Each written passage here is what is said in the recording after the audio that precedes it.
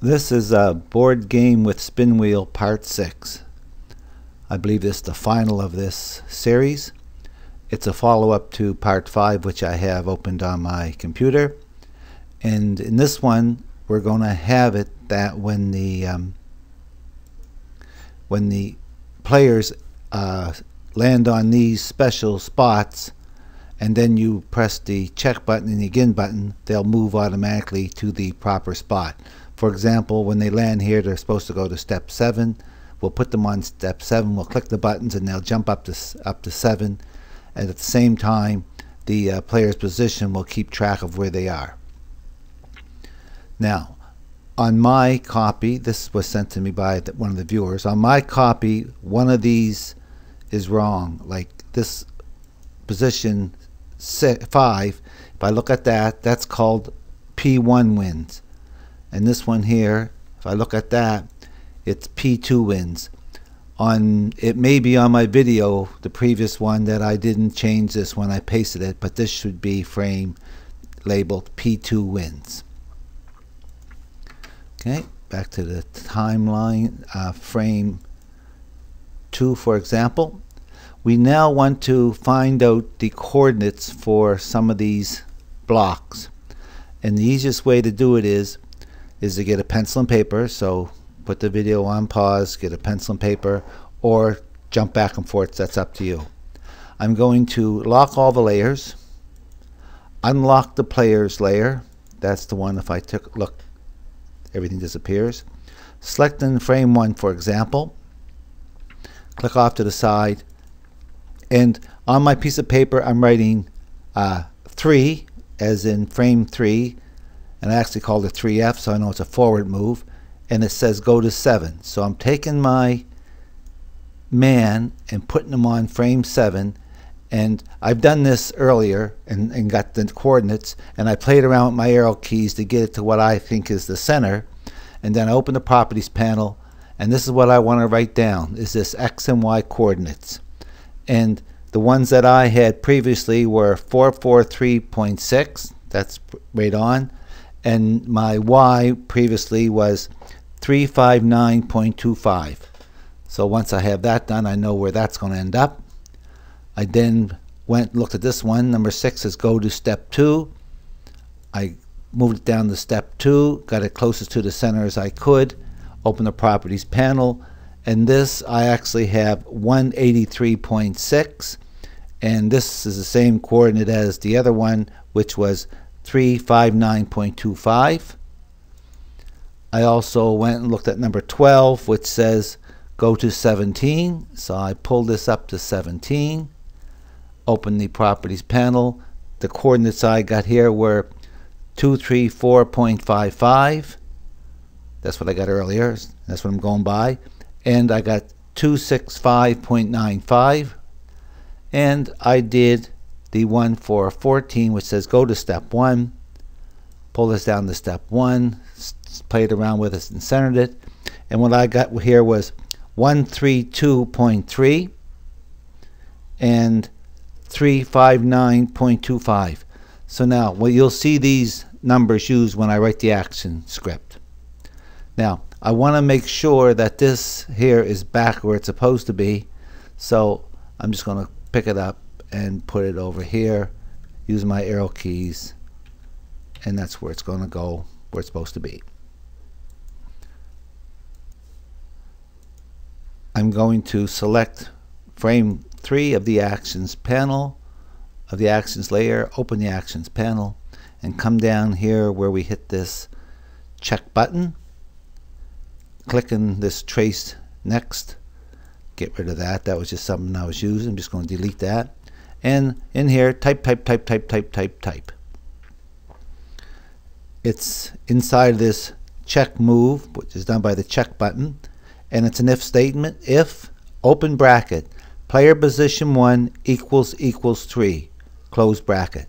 So that's saying if player 1 was to stop here and then we press the check button. We're going to do a few things.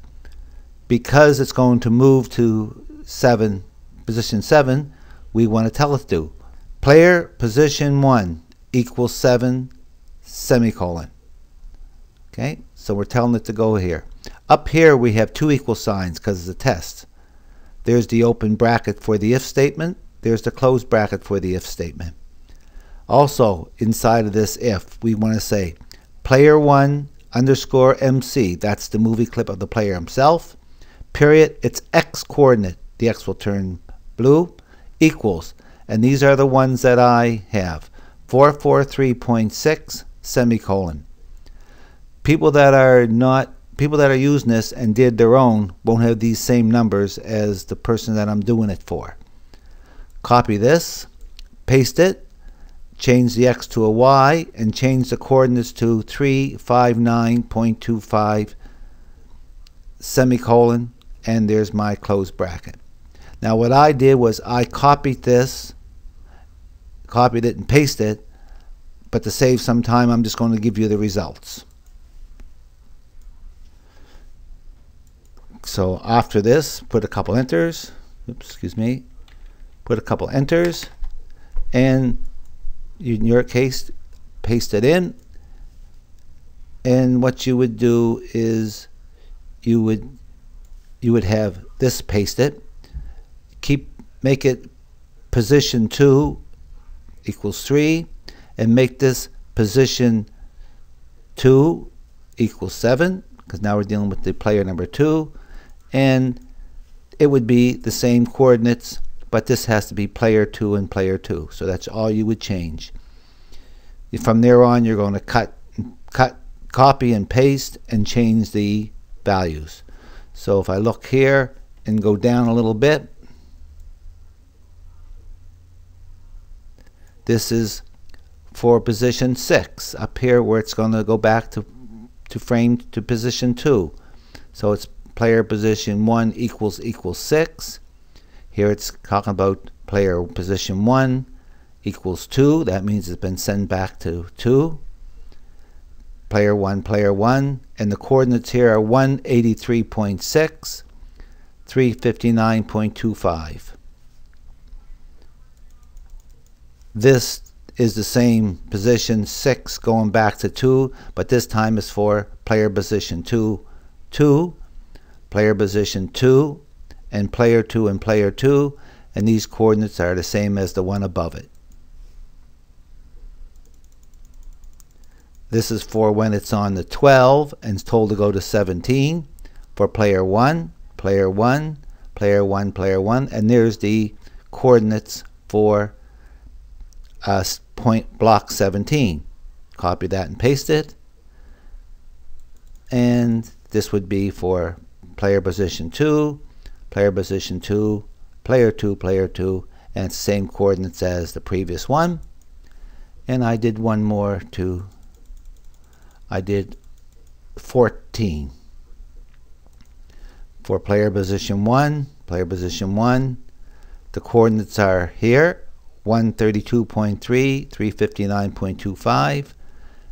Copied that call it player position 2, player position 2, player 2 and player 2, and that should be it. Now I'm going to try to test it out. You would have to do the similar thing for the rest of the um, those special blocks, but I just want to try it out. Control, test movie test. This could be the longest part of the video getting these to, to do something. All right. Start it and stop it. I got 6. Oh, good, good. 6 is a good one. So this goes to 6. Now, when it's on position 6, it says go back to step 2. So when I check it, it jumps back to step 2, says player 1 should be on step 2, player 2, step 0. I can go again. Now it's player 2's turn. He gets a 4. 1, 2, 3, 4. I'll do a few of these. Check should be 2 and 4. 2 and 4. That's good. Back to player 1. 5. 1, 2, 3, 4, 5. This time it should be 7 and 4. 7 and 4. Very good. Test it again. This is player 2. 3, one, two, three, no problem. We don't have a rule for that. Check it. 7 and 7, that's good. Back to player 1. Just see if I pick these other ones up. 3, 1, 2, 3. Should be 10 and 7. 10 and 7. This is working really well. 5, 1, 2, 3, 4, 5. Now, this should send this guy up to 17. There it is, 17. So it's 10 and 17. I think that's going to work. Now, naturally, you got to do all the rest of them. What I would do if this was my puzzle is I would change one thing. Back on the main timeline, where you have these steps, uh, step numbers. This layer here called step numbers. No, this one, step STO. No, where's those step numbers at? I have to find them. I'm trying to find out where this writing is. There, that one. Direct is called, okay? That direct layer right there, I would do something on those. For example, if I'm on this frame right here, I'm going to hide everything except that direct. And I would change them. I would say uh, just like something like go back or go ahead but I wouldn't say the number of steps. Like I wouldn't say go to step 7 I would I would leave that out. I would leave that out just so that when the person is playing he's going to know if he lands on a blue he's going to go ahead. If he lands on a red he's going to go back but not how many because they might be inclined to as soon as it comes here automatically move their person here it wouldn't mess the game up but it just wouldn't wouldn't be what you want. Okay? I hope that works for you. Good luck.